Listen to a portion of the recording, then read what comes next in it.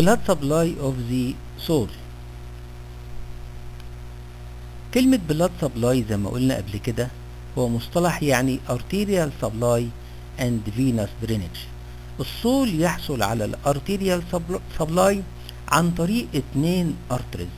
الأب الروحي لهذه لهذين ال two arteries هو ال posterior tibial artery.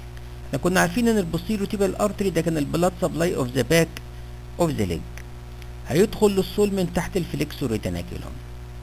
أول ما يدخل ينقسم لقسمين اتنين medial branch وهو الأصغر اسمه medial plantar artery و lateral branch وهو الأكبر واسمه ال lateral plantar artery هنبتدي الكلام عن ال medial plantar artery تحت أربعة headlines هما ال origin يعني ال beginning ال end يعني ال termination ال course and relations ثم ال branches ال medial plantar artery ده the smaller of the two terminal branches of the posterior tibial artery بياخد بدايته من تحت ال flexor retinaculum هيمشي straight course على ال medial side of the foot between the first layer superficially and the second layer deeply ويمشي مساره حتى نهاية ال first metatarsal ثم يعمل anastomosis ينتهي بأنه يعمل anastomosis مع artery اسمه plantar digital. artery جاي من ال lateral plantar artery. دي البداية والنهاية وال course بتاعه. يعني نقدر نقول ماشي على ال medial side. straight course بين ال first وال second layer ثم ينتهي بهذا الشكل باتحاده مع ال first مع واحد من ال plantar digital artery arteries اللي جاي من ال lateral plantar artery ال branches اللي بتخرج منه هي branches هتغذي الأصابع. فيسموها digital arteries. لكن هذه ال digital arteries من عند ال plantar aspect فيسموها plantar digital arteries. ديت هي ال arteries اللي كانت خارجة من أو ال branches of the medial plantar artery طب إذا جينا نشوف ال lateral plantar artery بنفس الرسمة هنتكلم برضو تحت أربعة headlines origin and course and relations ثم ال branches هذا ال artery اللي هو ال lateral plantar artery من الواضح من شكله إنه the larger of the two terminal branches of the posterior tibial artery. بدايته تحت ال flexor retinaculum ال course بتاعه هيمشي course مناظر تماما لل nerve اللي كان ماشي جنبه. على ال medial side بتاعه كان ماشي ال lateral plantar nerve فال artery هيمشي نفس ال course يعني course من two parts ال part الأول يمشي forward and laterally حتى ال base of the fifth metatarsal fifth metatarsal بعيد وأعيد وأكد وأقول إن هي ال lateral metatarsal أما ال second part هيمشي forward and lateral and medially حتى ال first interosseous space بين ال first metatarsal وال second metatarsal ال first part في مساره هيمشي بين عضلات ال first layer وعضلات ال second layer يعني إيه؟ يعني هتغطيه من فوق. ال flexor digitorum brevis وهو هيمشي على ال flexor digitorum accessorius إنما ال second part هيمشي بين عضلات الطبقة الثالثة وعضلات الطبقة الرابعة. يعني إيه؟ يعني هيمشي between the adductor hallucis superficially and the interosseous muscle أو ال interossei من deep يعني so يعني deeply هنا بمعنى إيه؟ بمعنى dorsally يعني بمعنى superiorly ده كان ال course. أما ال termination ال termination of the lateral plantar artery عند نهايته اللي هي عند ال first inter metatarsal أو interosseous space هنجد إنه يتحد مع artery جاي من فوق. من فوق منين؟ من ال dorsum of the foot. ده ال dorsalis pedis artery كان جاي من ال dorsum of the foot وكان بيخترق هذا ال space. بيخترقه علشان يتحد مع ال termination of the lateral plantar artery مكونا. arch مهم جدا في ال foot. اسمه plantar arch. يبقى هنا ال plantar arch هو arterial arch formed by the end of the lateral plantar artery and the end of the dorsalis pedis artery اللي كان جاي من فوق ده ال plantar arch ال branches اللي خرجت من ال lateral plantar artery cutaneous branches لمين لل skin of the lateral one third of the إيه of the sole muscular branches to the surrounding أو to the neighboring muscles طيب في branches تانية بتخرج آه يخرج من ال plantar arch أو هيخرج إيه من ال plantar arch هيخرج عدد من ال perforating arteries أدي artery وأدي artery وأدي artery. هتعمل perforation لمين؟ هتعمل perforation لهذه ال spaces وما هي هذه ال spaces هي ال spaces between the metatarsal bone فيسموها inter metatarsal spaces أو الاسم الأسهل لها اللي هو ال interosseous spaces يبقى دلوقتي عندي ال perforating arteries هتمشي في ال interosseous spaces وتروح فين هتروح لفوق. فوق فين؟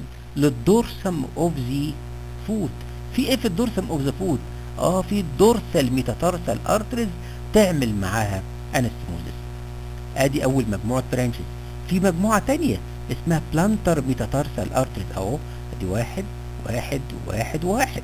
ال plantar metatarsal arteries هي عبارة عن arteries طالعة من ال plantar arch وماشيه على ال sole of the foot على ال plantar side من ال metatarsal bones ثم إن كل واحد هيجي يتفرع إلى عدد اتنين plantar digital arteries ويغذي ال sides of the two adjacent bones يعني صبعين إيه؟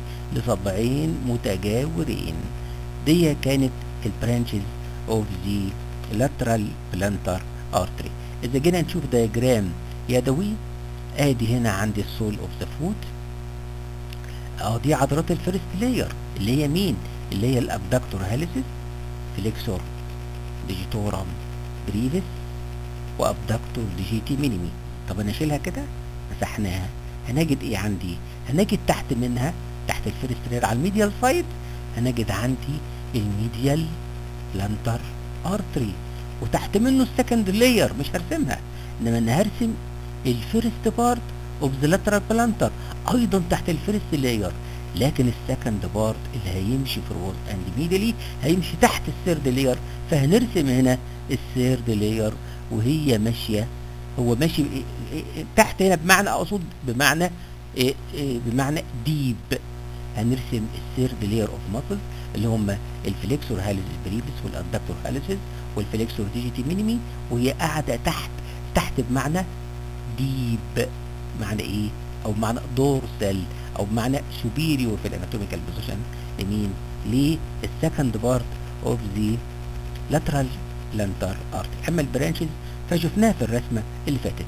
ندخل بعد كده على موضوع مهم جدا اسمه ال arches of the foot ربنا سبحانه وتعالى لما خلق لنا ال foot خلق عظامها عظام ال foot بطريقة بحيث إن العظام ديت تتمفصل مع بعض وما تلمس الأرض.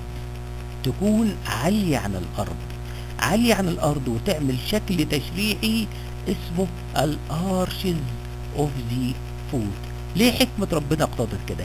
إحنا شفنا من شوية إن ال sole of the foot اللي هو السطح ده مليان muscles أربعة layers nerves اتنين arteries اتنين غير ال venae comitantes اللي ماشية مع ال arteries. كل هذه الثروة التشريحية من arteries و veins و nerves و muscles لو لمست الأرض ووزن جسمنا كله ضغط عليها هيسبب لنا في آلام كبيرة. فربنا سبحانه وتعالى خلق العظام عظام ال foot خلقها بطريقة ورتبها بطريقة بحيث تكون arching pattern هيسموه ال arches of the foot اذا ال structural build التركيب آه البناء التركيبي لعظام ال foot تسببت في وجود ال arches of the foot طب ال arches of the foot هو اللي إحنا شايفينه ده بس؟ لا هم عددها ثلاثة arches واحد اتنين longitudinal واحد يبقى من على ال medial side واحد يظهر من على ال lateral side. ثم في واحد transverse تعالوا نشوف ال medial longitudinal arch. ال medial longitudinal arch اللي هو هيظهر من على ال medial side. مكانه ال site بتاعه. Seen from the medial side of the foot. قاعد على ال medial side.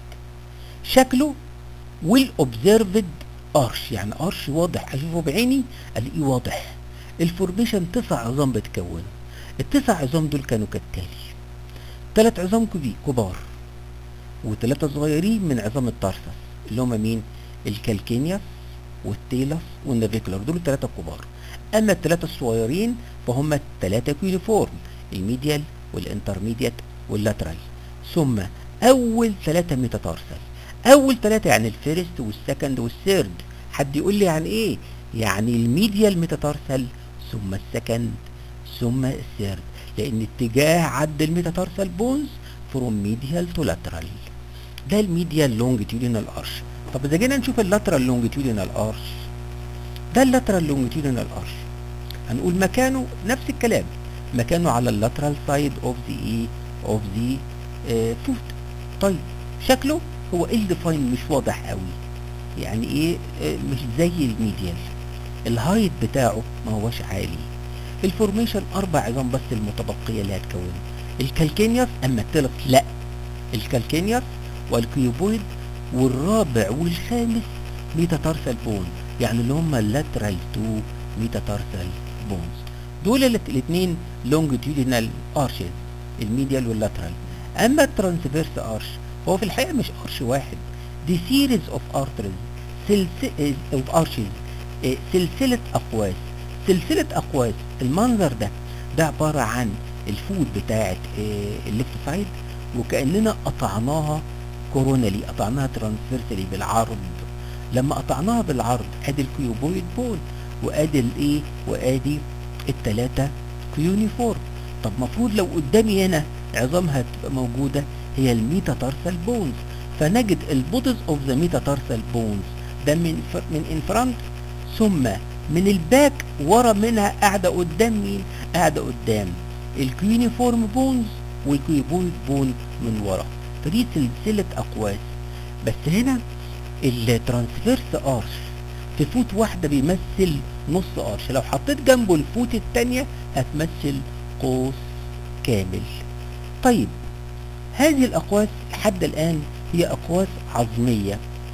يعني هذه الأقواس العظمية لو وزن الجسم ضغط عليها هيحولها مش لأقواس هيحولها لفلاتند ستراكشر مركبات مسطحة. طب ما الذي يحافظ على هذه الأقواس ثلاث عوامل أساسية في الأشخاص الأحياء تعمل على المحافظة على هذه الأقواس يبقى factors responsible for keeping keeping يعني حفظ يعني retaining the arches of the foot في عندي bony factor وليجامنتال factor و muscles and tendons. ال bone construction اللي هو ال bony factor البناء العظمي البناء التركيبي لعظام ال foot ربنا سبحانه وتعالى خلقها وركبها مع بعض كما الحجارة اللي بتكون أقواس النصر اللي بيعملوها في الشوارع في مداخل الشوارع الكبرى. فبحيث إن كل عظمة cuboidal in shape ومقطوعة كشبه منحرف لما يوضعوا جنب بعضهم بتكون هذه الأقواس يبقى أول ده ال bony factors اللي هو ال shape of bones of the foot وبالذات ال cuneiform وال metatarsal طب ligamental factors شبكة الأربطة الكبيرة. عندنا أكتر من 70 رباط موجودين في ال foot ما بين أربطة طويلة وأربطة قصيرة. هذه الأربطة منها ما هو superficial ومنها ما هو deep منها ما هو long ومنها ما هو شورت. وجود هذه الأربطة هتشد على العظام بتاعة ال foot كما تشد الأوتار على الأقواس اللي كانوا بيستخدموها القوس الحربي بتاع زمان.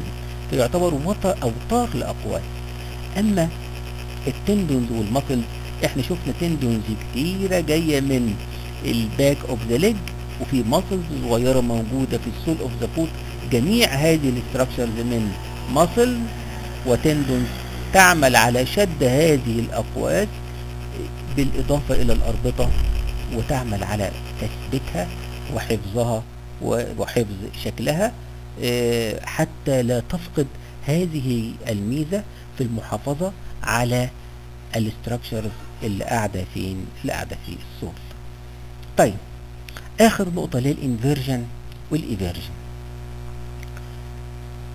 ال inversion وال eversion هي حركات تحدث في ال foot ولا تحدث في ال ankle. إيه الفرق بين ال foot وال ankle؟ ال ankle هو مفصل بين ال tibia وال fibula من فوق وبين عظمة ال talus من تحت. أما ال foot ال foot ده structure اللي إحنا شفنا له skeleton معروف tarsal و metatars tarsus و metatarsus و phalanges. اذا الحركة اللي تحدث في ال foot هي اللي اسمها ال inversion نبتدي بال inversion inversion هي حركة. Special type of rotation. تحدث في ال foot and not in the ankle joint.